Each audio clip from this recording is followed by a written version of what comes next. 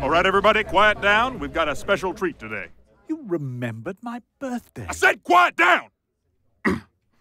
we have a celebrity gracing us with his presence today motivational guru Chase Chatley. Wow! Chase Chatley here? Oh, wait till I brag about this to my ex-wife. What? No, that's Fern. Come on, Steve. Fern doesn't have hair. I hate you, Steve. Steve, what are you trying to do? This is a happy day. You're telling me that hybrid car with a Mitt Romney wig doesn't look like Fern? Whoa, whoa, whoa. Let's keep the political venom out of this, okay, Steve? Mr. Chatley, maybe you'd like to say a few words, fire up my troops a little?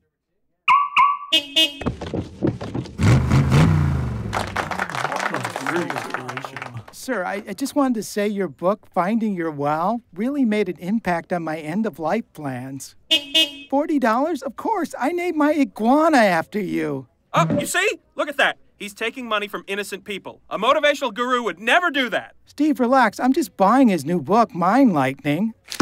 Steve, Chase Chatley is a motivational genius, and like him or not, he has affected all of us. I've read over 28 of his books. Brain Dancer, High Six, Money Money Goose, Success Pool, Mind Muhammad Ali, The Will to Will, Eating the Tornado, Billy the Little Lost Duck, and Cave House on Cash Mountain, just to name a few. Chase Chatley and I went horseback riding once. He taught me how to love. Granted, it was only a dream, but that doesn't make it any less real.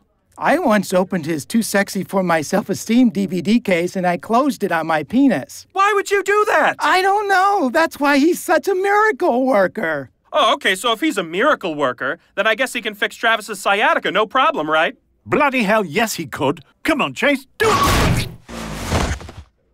He did it! Yeah! What? No, he didn't! Gu- guys, quick, somebody call an ambulance. Travis! Travis! Travis! Travis! Man, I wish Fern was here.